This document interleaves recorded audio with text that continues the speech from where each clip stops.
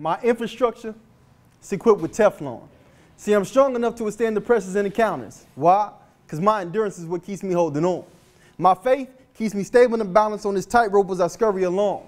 See, I was taught the game early, but I became content rolling for Dolo. Gained the understanding that companionship only contains excuses to prolong, but later found out hesitation was a no-no. It taught me the true value to moving on.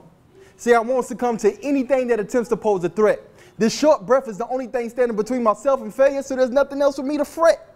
Time has never been a friend. She's more like an acquaintance. I already knew there was no loyalty. How could it when she keeps ticking and stressing my patience? I finally picked the lock to my shackles, so I'm liberated. But still entrapped on this underground railroad has me feeling like my freedom is overrated. But yet my passion keeps grinding because it has no limits. See, I'm cautious of the crevices in these smiles because they're underhanded and wicked. Yeah, I'm a straight shooter like Pistol Pete, can never cross over like AI. I had to hop on the wagon because now I no longer get hot. And inebriated mind is a dangerous place to play when I'm attempting to get by. I had to search for serenity in order to gain the real meaning of clarity. Felt as if I was losing the remainder of my mind, but no one seemed to be overstanding me.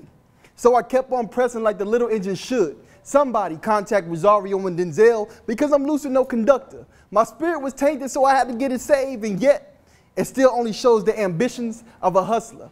I finally embraced the light, so I'm no longer a victim of my wicked ways. Sturdy as that old oak tree, and when the wind blows, I no longer seem to sway. That means I'm unstoppable in this life. Therefore, I continue searching and striving to reach for my better days.